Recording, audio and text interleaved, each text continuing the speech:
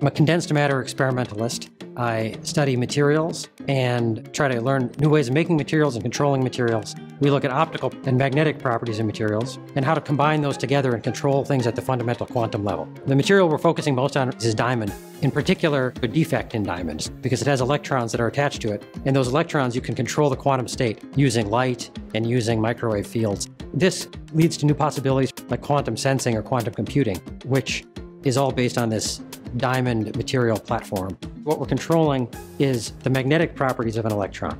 A lot of the work we're doing is figuring out how to make magnetic structures that can provide magnetic fields that you can change very locally and very quickly in a very precise short time scales and short length scales. You can use just a single one of these defects, which is very small, as a sensor where you can measure things like magnetic field or temperature, either to probe to develop new kinds of magnetic materials or even to probe biological materials, like by putting these nanoscale sensors inside a living cell and measuring what's going on. If you want to try to make a quantum bit, you can think about using these magnetic systems as sort of an infrastructure to control a bunch of these defect spins in the material. The whole idea of quantum computing is that you have a quantum bit or a qubit that can be both zero and one at the same time. Actually can be used to compute things that would take many times longer than the age of the universe for a classical computer to, to finish.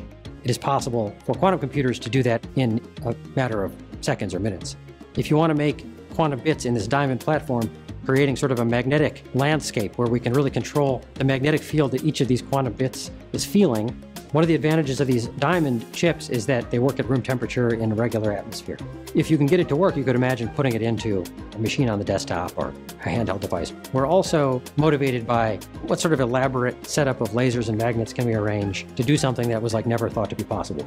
All the research is carried out by graduate students and undergraduates the graduate students are advising the undergraduates. Working in the labs involves some coding, software development to control the experiments, and setting up the experiments. So that involves lasers and a lot of optics, making sure every lens and every mirror is in exactly the right place. Right photons are going where they're not supposed to.